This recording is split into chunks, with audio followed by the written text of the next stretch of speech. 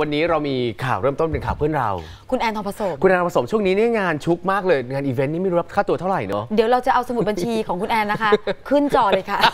คุณคะเป็นความลับค่ะอะ คือคือเวลาที่แอนนี่ออกงานทีไรเนี่ยนักข่าวก็จะถามหลายคนก็อยากรู้รู้เรื่องของการที่จะแต่งงานกับคุณเอเมื่อไหร่อ่านนะฮะหลังคบหาดูใจกันมา 17 ปีแล้วนะฮะค่ะ17 ปีแล้ว17 ปี โอ้ my god อืมนานจังตยแล้วต้องเข้าพิธีแล้ว ใช่นะฮะ ซึ่งก่อนหน้านี้พี่เอนี่เคยคุกเข่าขอคุณแอนแต่งงานมาแล้ว ตอนที่ทั้งคู่คบกันได้ 6 6 เดือนแรกอืมตอนนั้นแอนบอกแอนไม่พร้อมอะเออแอนทำไมไม่พร้อมอะตอนนั้น 13 อายุ 13 คุณเด็กไปค่ะเด็กไปโอ้ยก็เลยยังไม่พร้อม แต่ว่าตอนนี้เนี่ยแอนพร้อมแล้วใครเป็นพิธีกรคะใครเป็นพิธีกรดูสิคุณอย่าเร่งค่ะ ตอนนี้แอนพร้อมแล้วนะฮะแต่ว่าค่ะไม่รู้ว่าทางคุณเอเนี่ยจะพร้อมหรือเปล่า เพราะอยากจะมีการเซอร์ไพรส์ขอแต่งงาน มีการคุกเข่าสวมแหวนหรือเปล่าอ้าวต้องรวบตึงตรงนี้หน่อย คุณแอนตอบค่ะ คุณแอนชุดสวยเชียวค่ะ คุณแอนสวยด้วยแต่ครั้งนั้นพี่เอได้ขออีกครั้งไหมคะหรือยังว่าเลยค่ะ ยังไม่ขอเงียบ silent เงียบ silent หลายคนเสียดายแทนพี่แอนอะไรเงี้ยโอ้ยตอนนั้นอายุเนอะ25เองเออเราก็ยังต้องการตีลังกาปาระเบิดตีลังกาปาระเบิดอยู่นะใช่ว่าเรายังไม่อยา ก มีครอบครัวอะไรอย่างเงี้ยตอนนี้พร้อมค่ะ ตอนนี้พร้อมค่ะ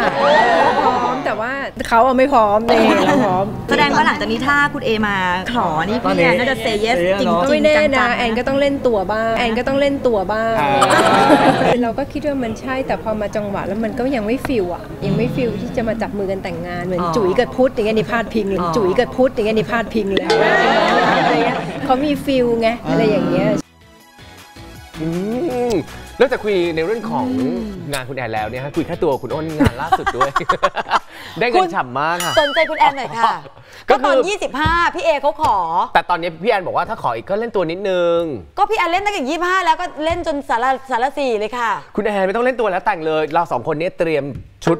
หนุนไหล่แล้วก็ผ้าไหม แล้วก็ถือหมอนแล้ว อ๋อไม่ได้บวช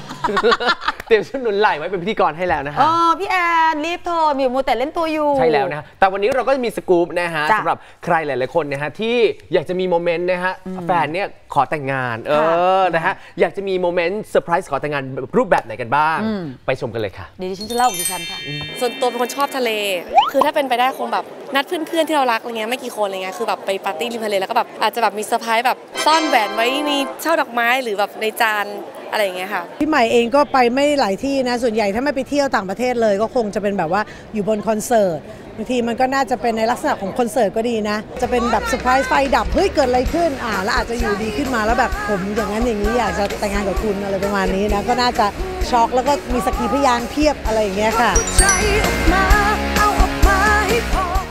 คือถ้าเอาส่วนตัวที่ชอบเลยนะคะ ชอบอะไรที่มันเหมือนกับแฟนตาซีหน่อยๆอะคือหนูเป็นคนที่ชอบอะไรวิ้งวิ้งชอบอะไรแบบว่า เป็นไฟเหมือนหิ่งห้อย เป็นอะไรที่มันแบบอยู่ในแบบท้องฟ้าราตรีอะไรอย่างเงี้ยค่ะคือคือจะชอบอะไรที่มันแบบว่าเพ้อๆหน่อยมันเหมือนมันเป็นโมเมนต์ที่แฟนตาซีชีวิตที่มันไม่เกิดขึ้นจริงดีอะ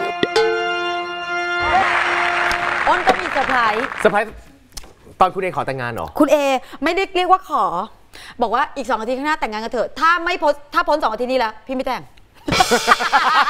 พี่แอนแค่นั้นเหรอ artist แล้วเธอว่าไงเพราะว่าตื่นเต้นก็อ้าก็จัดเหมือนงานวันเกิดเลยค่ะปักปักปักปักปักปักข้าวหม้อแกงหม้อข้าวหม้อแกงหม้อข้าวหม้อแกงหม้อแม่ทำแกงเขียวหวานไก่มาปักปักปักปักแม่ทอดหมูรวนเค็ฉันไปค่ะดิฉันไป คุณใส่ซองน้อยไปค่ะหนึ่งพันบาทตอนนั้นดิฉันไม่ค่อยมีตังค์ค่ะคุณตอนแรกใส่ซองกลับเป็น gift voucher ละ คุณใส่ซองถ้าแต่ก่อนมีโซเชียลนะคะดิฉันจะเอาซองคุณเอกกี้เปิดมาแล้วคุเอาเงินวางแล้วก็เมาส์ตอนแรกกลับเป็น gift voucher ละ gift voucher ห้าร้อยแต่ดิฉันไม่กล้าใส่ gift voucher ในงานแต่งงานใครจริง ๆ ค่ะ ใช่ค่ะการใส่ gift voucher ไม่ได้ทำกันบ้านนะคะ อย่าไปค่ะอุ๊ย